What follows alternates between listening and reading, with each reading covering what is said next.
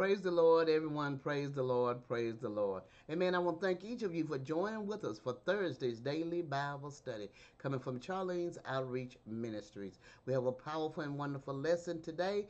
Jesus follows followers are light. Jesus followers are light. Coming from Matthew 5, verses 14 through 16. Amen. Jesus followers are light. They were light and we are.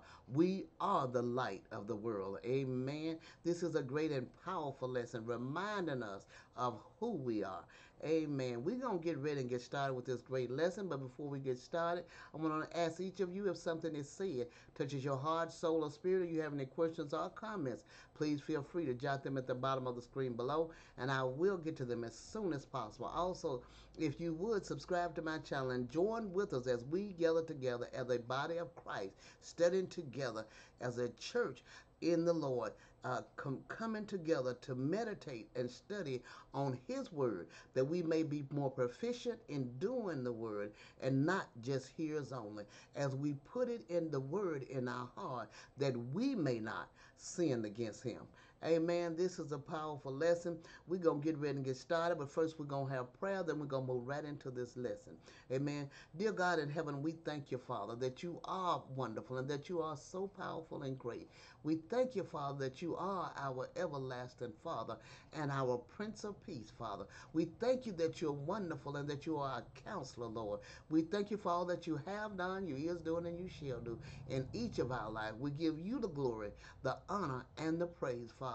Lord, as we come to you today, giving you thanks for all the many blessings that you have bestowed upon us, watching over us day and night, leading us and guiding us in your true path of righteousness, guiding our thoughts and our action and our tongue, Father. And we thanking you and giving you glory, Father, that through your grace and mercy, that we do have the strength and the courage as we know that all things are possible through Christ who strengthens us, that we are doers of your word and not just hearers only.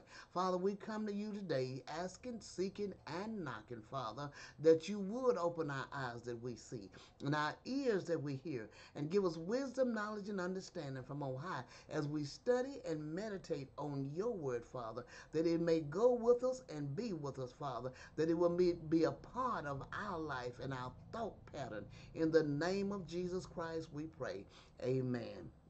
All right, we're going to move right into the lesson. Jesus followers are light. Jesus followers are, are light. Coming from Matthew 5, verses 14 through 16.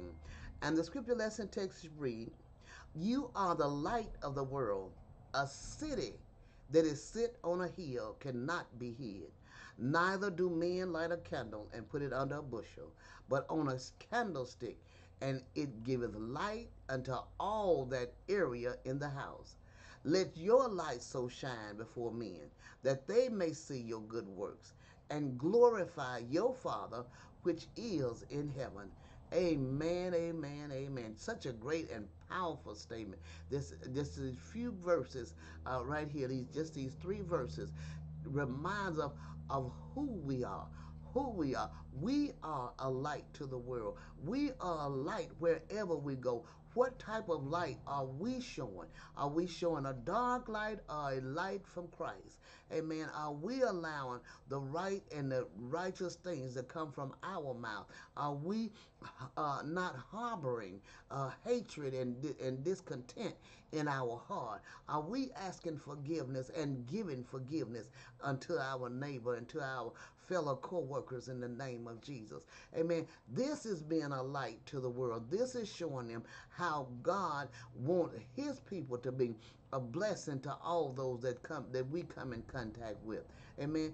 Commentary says, You are the salt of the earth. Mankind laying in ignorance and wickedness were as a vast heap, ready to pu- purify putrefy. But Christ sent forth his disciples by their lives and the doctrines to season it with knowledge and grace. If they are not such as they should be, they are as salt that has lost its savor. If a man can take up the profession of Christ and, and yet remain graceless, no other doctrine, no other means can make him profitable. Our light must shine by doing such good works as men may see. What is between God and our souls must be kept to ourselves, but that which is is of that is of itself open to the sight of men, we must study to make suitable to our profession and praiseworthy. We must aim at the glory of God. Amen. Amen. We must aim at God's glory.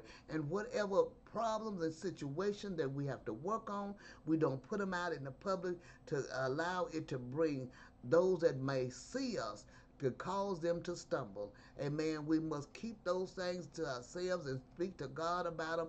Ask someone that's um, close to us in prayer to get with us to help us to pray through the situation of whatever we're dealing with. And as we do so we get stronger in christ. We'll get stronger in his word. Amen. And it blesses us as it blesses others. Amen. This is a great and powerful lesson. I pray you meditate on this lesson and have a wonderful and blessed day. God bless each of you. Amen